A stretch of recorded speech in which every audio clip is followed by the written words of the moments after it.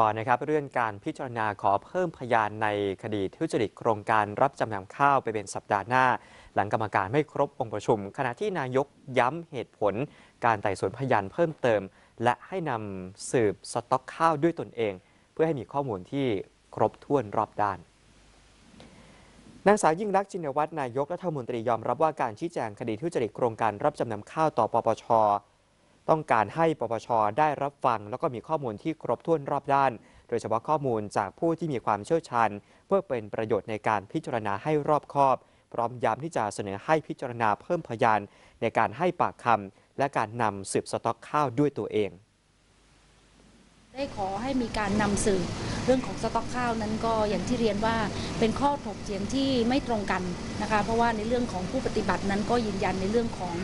ตัวเลขของสต็อกข้าวก็มีความแตกต่างกันฉะนั้นเราก็มองว่าการที่พูดคุยบนเอกสารอาจจะไม่ได้เกิดประโยชน์ ถ้ากกตจะนำเรื่องนี้ไปพิจารณาในการที่จะลงไปตรวจสต็อกบนบนบนตัวสต็อกจริง ๆ เลย อันนี้ก็จะทำให้ได้ข้อมูลที่ถูกต้องแล้วก็ครบถ้วนค่ะ ก็อยากให้ทางปปชพิจารณาเรื่องนี้ด้วยนะคะค่ะนายสรรเสริญพลเจียกเลขาธิการปปช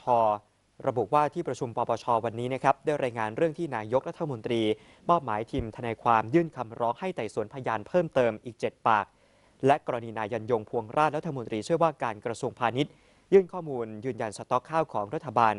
ไม่ได้สูญหายเพื่อหักล้างข้อมูลของคณะอนุกรรมการปิดบัญชีโครงการรับจำนำข้าว ชุดนางสาวสุภาปิยะเจติ รองปลัดกระทรวงการคลัง เป็นประธาน โดยที่ประชุมปปชนะครับได้เลื่อนการพิจารณาเรื่องนี้เป็นสัปดาห์หน้า เนื่องจากมีกรรมการปปชไม่ครบ